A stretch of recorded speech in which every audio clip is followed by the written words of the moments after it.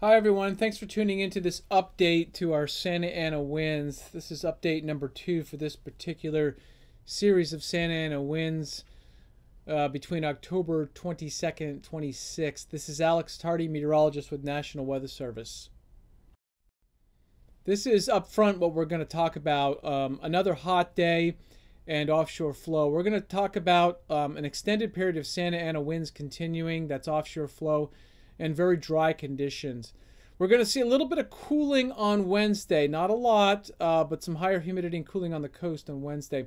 But then we go right back into Santa Ana winds on Thursday, and they look to peak out Friday morning. So that'll be the strongest. This looks to be a moderate uh, type of event so our most wind-prone areas along the Cajon Pass of I-15 and even near the I-8 pass, we could get some gusts uh, 55, 65 miles per hour. Uh, warm and dry conditions continue the weekend with a slow increase to onshore flow and humidity. Uh, another round uh, is possible of Santa Ana winds late in October. So we're not going to talk more about that, um, but we'll update you as it gets closer. How warm was it on Monday? Widespread mid to upper 90s. Widespread mid to upper 90s. Um, and that includes the I 5 and I 15 corridor. Where is this map created? Right off of our webpage, weather.gov San Diego. Uh, what about the winds in the past 24 hours? We've lost a lot of the wind, um, but it does continue to blow. Um, we're still seeing some healthy wind gusts uh, in San Diego County, as shown here. The winds are weakening but but blowing still through the Cajon Pass, uh, north of Ontario, and in some of the Santa Ana Mountains. Where can you find this? Right on our webpage, weather.gov San Diego. Some common questions and answers about Santa Anas. What are they? Are all defined here. Um, and what is worse, a fire weather watch or red flag warning? Well, the red flag warning is worse, um, and this current round of Santa Ana number two for Thursday and Friday, we expect to go into those red flag warning conditions. I also have a little clip at the bottom here for what the wind prone areas are. Here's the heat advisory that was issued for today. Uh, let's call it a Santa Ana wind heat advisory because it's for the coastal areas west and along the 15. Those areas are shaded and um, looks like temperatures as hot as what we saw on Monday. So in some cases, it's a dangerous heat when you get in the upper 90s, especially this time of year. What kind of temperatures on Tuesday? Well, they're shown here. Uh, widespread 90s and upper 90s to near 100 in the hottest spots. The fire danger. Okay, so this is more for our Thursday, Friday Santa Ana wind, and that's when we have the fire weather watch out in effect for Thursday and Friday. And it's really for all areas except for the inland deserts and the immediate coast of Orange and San Diego. So that's the area we expect to see the red flag warning uh, or the upgrade to the red flag warning. What's causing all this? Well, currently we have a very warm dome of high pressure. That's what's tapping into the heat, giving us the temperatures well in the 90s. But what's preventing the onshore flow in the sea breeze with all that heat over us? Well, that's the offshore flow. That's on the right hand side. That's the Santa Ana wind. That's the cold air blowing from high pressure to low pressure across the Great Basin. And we feel the brunt of that down here in San Diego. We're going to repeat that pattern? Well, we certainly are. On Thursday, Friday, it looks like uh, conditions set up again, and I think it's going to be even stronger. Uh, the upper level high pressure is right over us, so we tap into some really warm air. But also, take a look at the high pressure. It's even stronger. So those black lines, the pressure gradient, uh, even tighter. That really brings windy conditions to our area um, and all the way into San Diego County. It does favor San Diego County with a position of that high. Uh, the conditions are very dry already uh, even without the dry air. So fuel moistures are bone dry across our area. And we had a dry summer. Uh, so we did not see much relief from the summer. So dry conditions over the summer uh, have put us in the situation and no fall rainstorms. So we're looking at near record dry fuels. This is what we expect developing on Thursday, more northeast winds. So round two of Santa Ana winds on Thursday Your blue shaded areas are where we're going to see gusts 40 to 55 miles per hour. 40 to 55 miles per hour. See how that cuts right through I 15 Cajon Pass and down to the 91 quarter. Also, parts of the 10. And then again, um, we're seeing wind today. We're going to see that wind come right back Thursday for the I 8 corridor in San Diego County.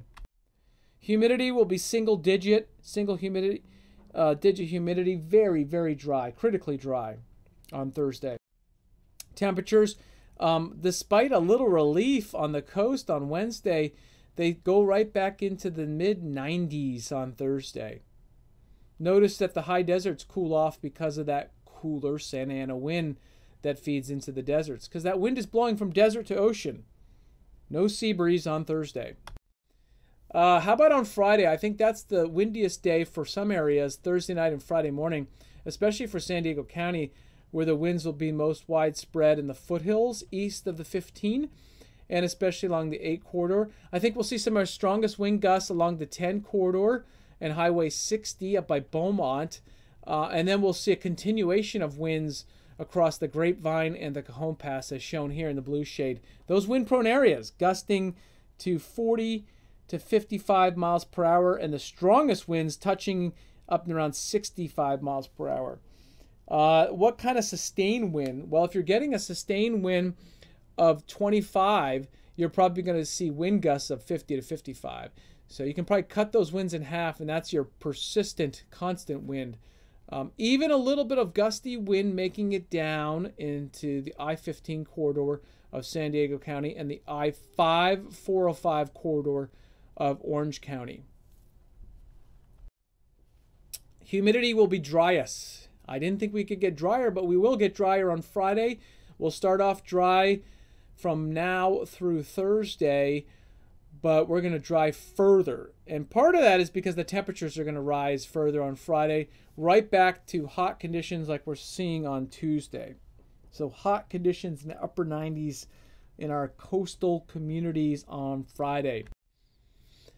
Speaking of, here's those numbers we're expecting the mid and upper 90s on Friday and do expect those numbers here probably be to be a little bit too low.